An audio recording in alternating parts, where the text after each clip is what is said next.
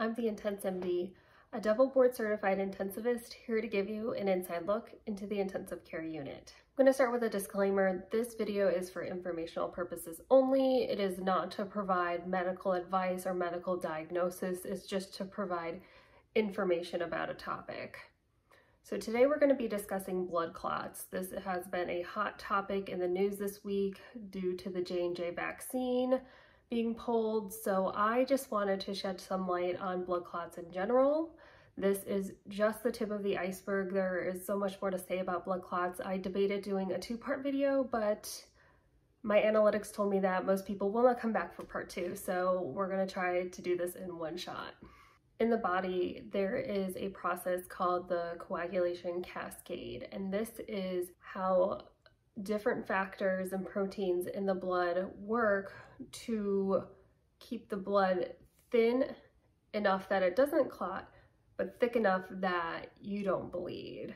If somebody is missing or has a low amount of any factor in this pathway, then they can either bleed too easily or clot too easily. As a very oversimplified explanation of this, but I don't want to go too in depth because this is not a medical school lecture. We're going to talk a lot about the blood vessels in the body. So just a reminder that arteries take blood away from the heart and lungs to the other organs so these organs can get the oxygen and nutrients in the blood.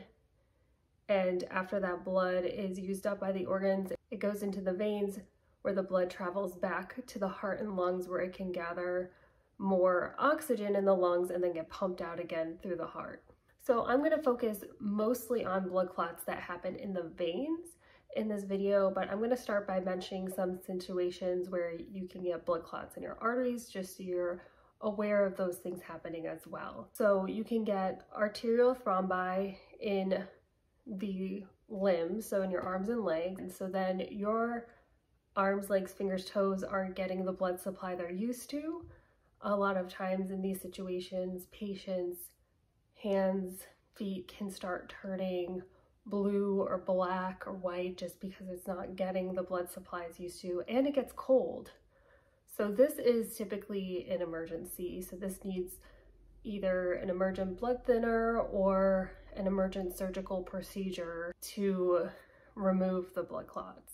So in these situations where we're looking for blood clots in arteries, we do something called an angiogram and that is just shooting dye through the artery and seeing where the blockage is because when you're looking at the film in real time, you'll see the dye going and then just stop abruptly where you would expect it to continue. So moving on to the veins. So one of the more common types of blood clots that most people think about are DVTs or deep vein thrombosis.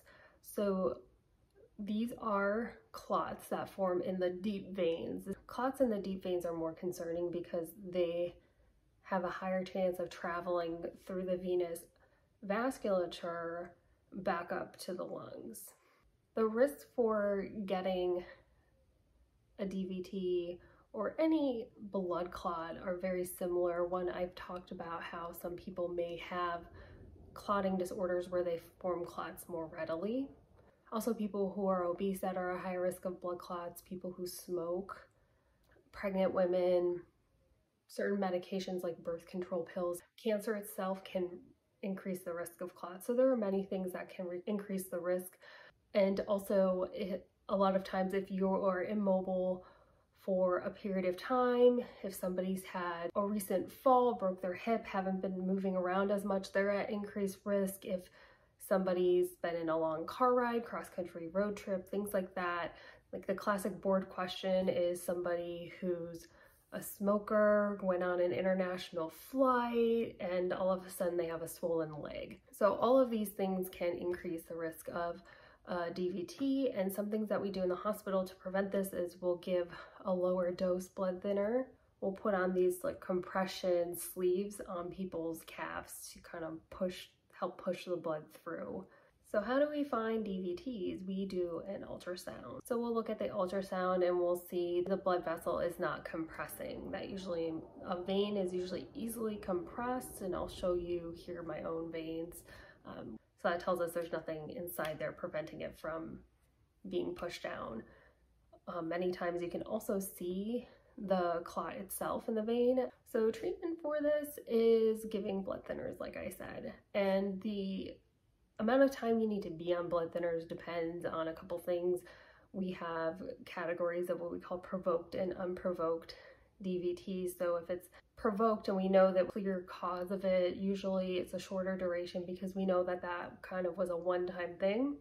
But if it's from cancer or something that's irreversible, then that's usually lifelong anticoagulation. Of course, we have to weigh the risks and benefits. If somebody has had life-threatening bleeding in the past or has a bleeding disorder, we'll take that into account whether or not we start them on a blood thinner. If they have a plan for a big surgery and that's going to have a lot of blood loss, we'll either hold the blood thinner, hold off on starting it until after the procedure's done. And in situations where somebody is not able to go on a blood thinner, and they have DVTs in their legs, we're concerned that these might travel to their lungs. We put something in called an IVC filter or an inferior vena cava filter, which sits in the inferior vena cava, which is the big vein that brings all the blood from your lower body back to your lungs, just so it can catch the clot there to prevent it from traveling any further. So that brings me to our next topic, which is pulmonary embolism. And these are blood clots that are in the arteries in the lungs. So if these get blocked off, then your lungs are not getting enough blood and that can cause some big issues.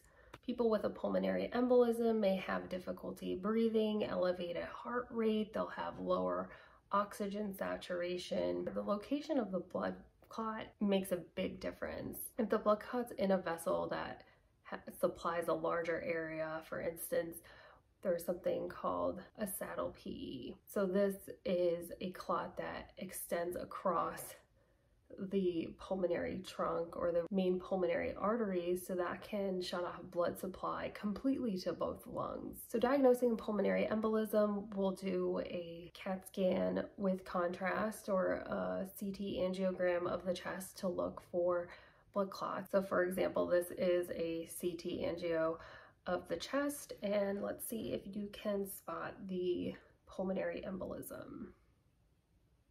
So as you can see here, this is a saddle PE. It is stretching across to both sides of the pulmonary vasculature. These types of blood clots can cause a patient to be very unstable. It can affect the heart and put some strain on the right side of the heart. So in these situations, we may do something where we give a clot busting agent called TPA, or we may have a cardiologist or interventional radiologist go in, go right up to where the blood clot is with a catheter and directly give the clot busting agent right on the blood clot, or they might try to take out the blood clot altogether called a me mechanical thrombectomy. So patients with DVTs typically do not require the intensive care unit. Sometimes they don't even require being admitted to the hospital. They can be monitored on blood thinners at home. But somebody who has a pulmonary embolism, particularly one that is affecting the big pulmonary arteries will need monitoring in the intensive care unit, especially if they had these procedures that either went in and got the clot or gave the clot busting agent directly to the clot. And finally, the most rare but most popular these days is the cerebral venous sinus thrombosis. I thus far have seen one in my career. So what are the cerebral venous sinuses? So these are the veins that drain the blood from the brain. This is a type of stroke that involves this system of veins. So how common is it? Not very. It's extremely rare. There are about 5 in 1 million cases per year. That is 0.0005%. And like I said, I've personally seen one. This typically affects younger women. Um, I believe the median age is 34 years old in females and around 42 in males. How do these patients usually come to the hospital? They usually have a headache, they'll have dizziness, they'll have weakness on one side of the body. The patient I saw had, was confused, had headaches, and treatment for this is similar to all the other blood clots, either a blood thinner or a neurosurgeon needs to go in and get the clot. So these patients are typically monitored in the ICU. We monitor their neurostatus very carefully to make sure that there's no major changes. There's also been more buzz about COVID patients and blood clots, and this is true. I can I can tell you I've seen patients come to the hospital with COVID and also have blood clots.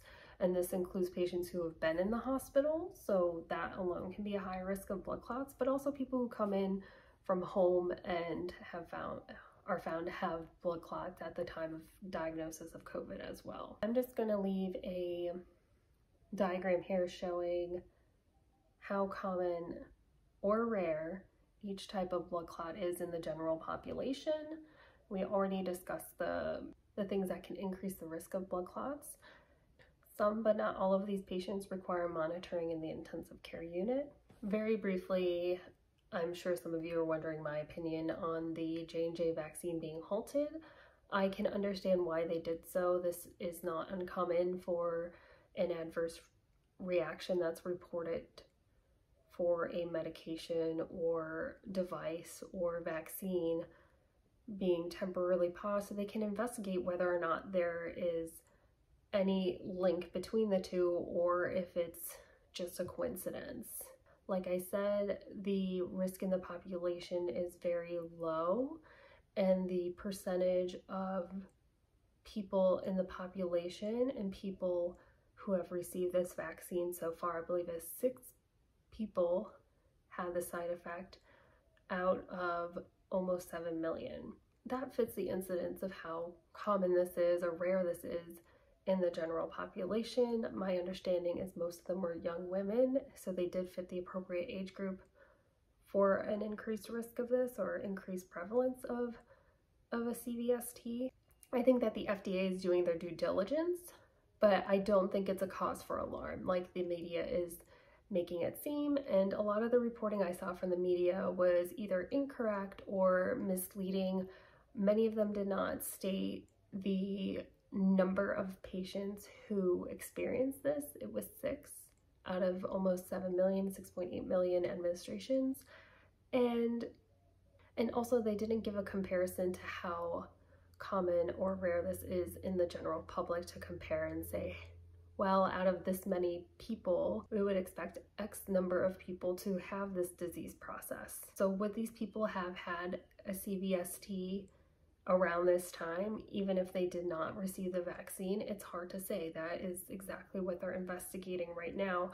I don't want to downplay it and say it's no concern at all, but I think it's something we need to take a step back and look at the full picture and also see if these people had any risk factors to begin with.